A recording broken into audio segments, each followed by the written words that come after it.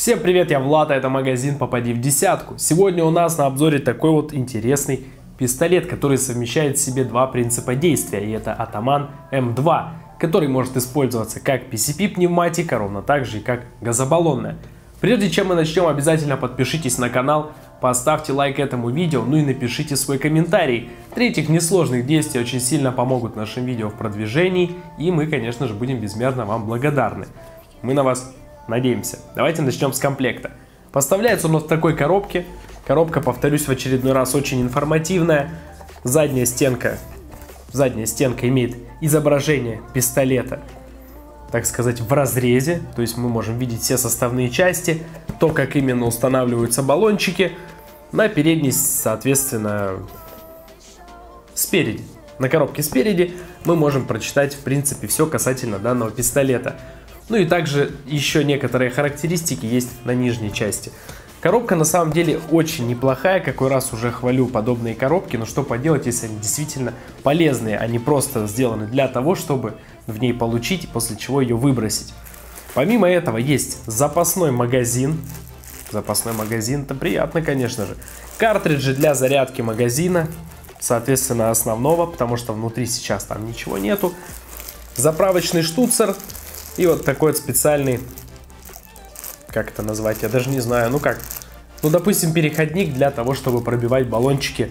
Ну и конечно же инструкция. Инструкция очень хорошая, довольно-таки неплохая бумага, да, бумага очень даже неплохая. И сама по себе, по наполнению, в плане информативности, инструкция, правда, отличная, потому что, прочитав ее, короче, вопросов, скорее всего, у вас не должно остаться. Ну, в этом-то, наверное, и пока что с комплектом все. Давайте теперь уже посмотрим на пистолет поближе, ну и, конечно же, обязательно постреляем с него. Погнали! Интернет-магазин «Попади в десятку». Это модель российского производства от компании А плюс А, которая, как я и сказал в начале видео, может использоваться как PCP-пневматика, где выстрел производится благодаря сжатому воздуху, который находится под давлением в специальном резервуаре-ресивере. Для отслеживания оставшегося давления внутри ресивера на нижней стороне рукояти установлен манометр. Механизмы пистолета сделаны из металла, корпус из ударопрочного полимера. Магазин пистолета рассчитан на 20 зарядов и стреляет он пулями в калибре 4,5 мм. Для того, чтобы магазин извлечь, нам нужно, во-первых, кнопок других никаких нет, нам нужно сдвинуть вот эту. Этот рычаг назовем его.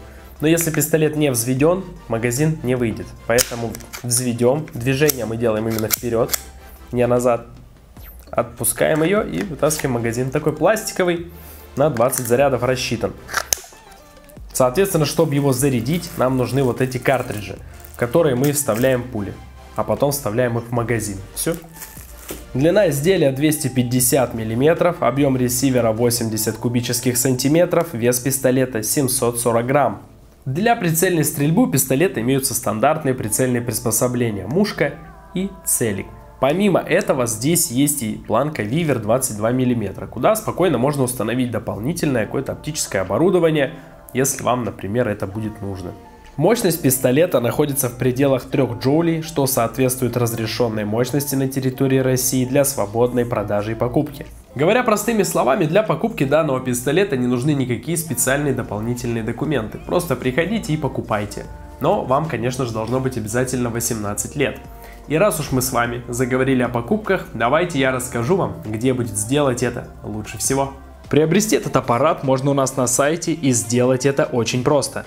Вам нужно перейти в описание к видео, кликнуть по ссылке, выбрать подходящий комплект исходя из своих пожеланий и оформить заказ в один клик. Быстро и удобно, доставка по всей России. Обзор на этот замечательный пистолет подходит к концу, друзья, обязательно ставьте лайк, подписывайтесь на канал, ну и пишите в комментариях, как он вам, или же задавайте вопросы, если вдруг они у вас возникли.